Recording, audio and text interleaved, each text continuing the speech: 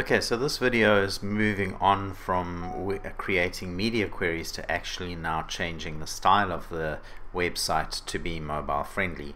So you can download mobile uh, MogHub website Quick Start 8 uh, or you can continue from your previous activity Quick Start 7. So I'm just going to download and unzip and pop that on my desktop to replace whatever was there and open up Dreamweaver.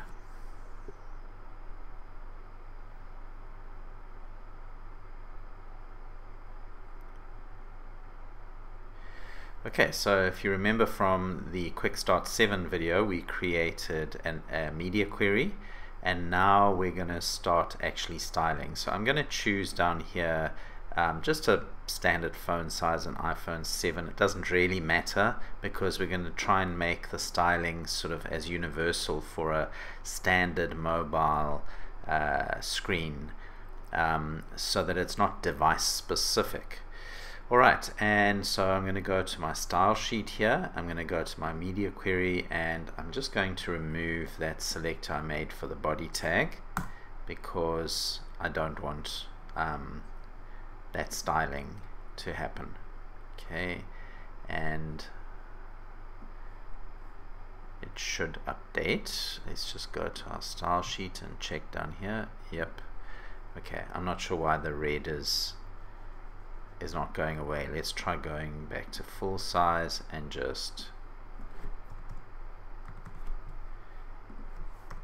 okay there we go it just didn't sort of update for a moment Still seems to be sticking to that. That's weird.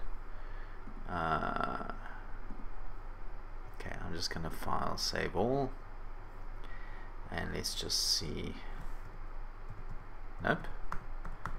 Okay, I think I'm going to just save all and restart Dreamweaver. That's annoying.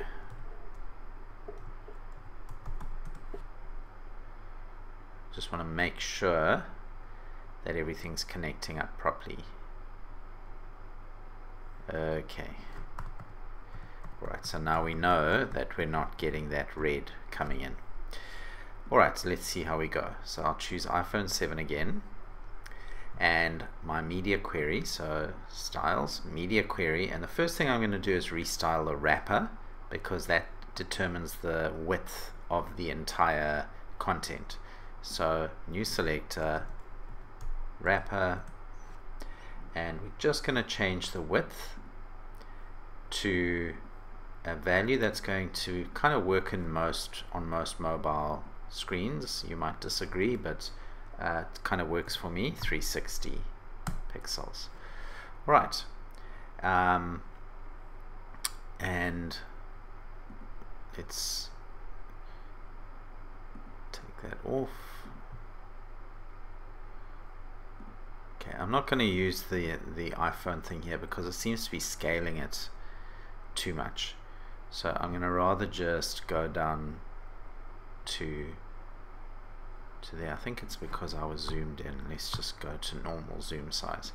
Okay, I'm going to leave it like that so I can see what's what I'm doing with uh, a slightly bigger width than a mobile phone, but I can see the edges. Alright, uh, next we're going to do a selector for the header. Just keep making sure that you're on that media query. It can sometimes jump off it when you're not looking. Uh, so this is going to be for header. And we're going to change the height to 375 pixels. Now these values are just ones that I have tested beforehand and I've found that they work for me. Then we're going to do a selector for header image. So if I just use my up arrow or down arrow, it makes my compound selector more or less specific. So header image, and this one's going to have a left value. So remember it's absolute positioning, so left value of uh, 125 pixels. It just pushes it into the middle. Uh, we're then going to make a selector for top links, hash top links. And here we are going to change the uh, right value to 100 pixels. We're going to change the top value to 150 pixels. And the width up here to 175 okay then we're going to go top links li list item. So top links li and we're going to set the display back to block. Okay we're going to set the padding at the bottom and top to 10 and 10 just spreads it out nicely so we're getting a nice sort of finger friendly touch friendly interface Alright, next we're going to look at the bottom links uh, unordered list. So over here, so we're going to go um, hash bottom links ul. And let's just go down here. And if I just click down here, it should stay down there. And for the bottom links ul, we're going to put padding left 0. Okay. Um, and then we're going to do a footer paragraph so footer p well not hash footer because it's not an ID it's an HTML tag just footer p and this is going to be padding left 10 pixels these are all I'm entering these values and you might be thinking well how does he know those values? I, I don't. I've experimented in advance and found values that work for me. So I can't make this video too long. So um, this is kind of going to speed up the process. Um, we're going to set membership column 2 uh, so we have um, oh, well, we'll go and check the page in a moment. So hash. Membership call 2 and that will be um, padding left 0 pixels. Okay. And then finally we're going to add for iframe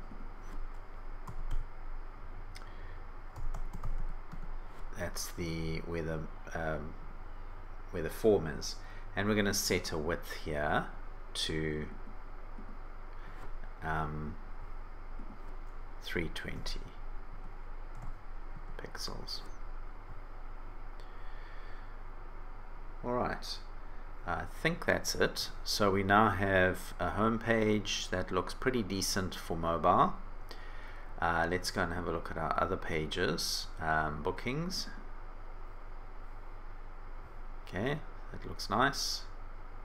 Gallery. Okay, we could probably push these pictures over a little bit um, that would be a bit of padding on the left of this one I'll come back to that in a moment um, membership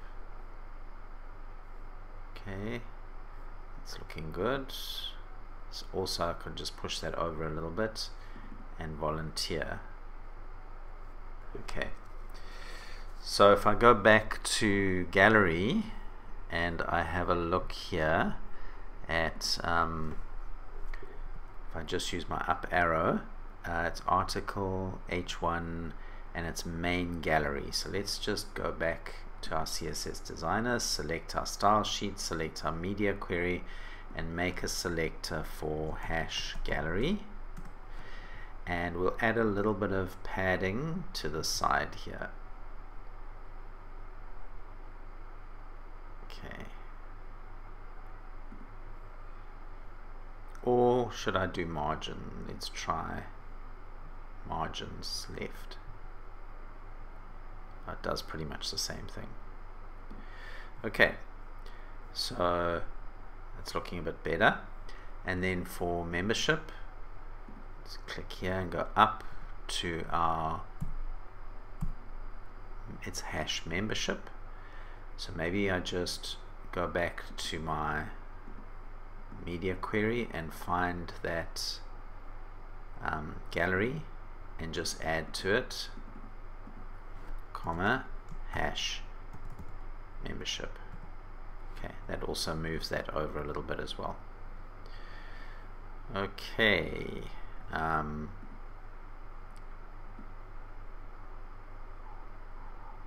okay. So you can fine tune this as you go, but this is basically uh, how you would go about styling for mobile. So if I save all, go back to index, and then I preview in Chrome, and I make it smaller than 960, you'll see that I've got a nice result here. Okay, and let's try with the Chrome um, developer tools let's just go to view developer and let's go to developer tools. I'll just go full screen here and I'll choose this option here which is to go mobile and let's choose an iPhone. We don't want the pro ones. Well let's choose a Samsung S8 let's see. And okay looks pretty good um, let's just go out of here. Um, there. And let's see what happened. Okay so it's definitely working. Just didn't like that particular thing. Okay it's not behaving itself. Let's just turn it off. Okay. And go back here. So it seems like I have to turn it on for each one and off. Okay. Let's go to volunteer. And gallery. Okay, so that's a pretty decent result, very simple website, but that's the process of making your site uh, responsive using Dreamweaver and a media query. I hope you've enjoyed this video. Uh, please subscribe to my YouTube channel and see you next time.